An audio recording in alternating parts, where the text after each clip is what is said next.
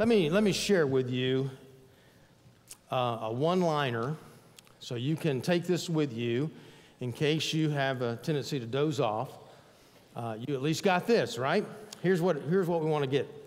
The entire story of the Bible is one of building a family who loves God, honors God, and will live with Him forever. So He says in verse 25, and this is really the culmination of the verse, not forsaking our own assembling together, as it in the habit of some, but encouraging one another all the more as we see the day drawing near.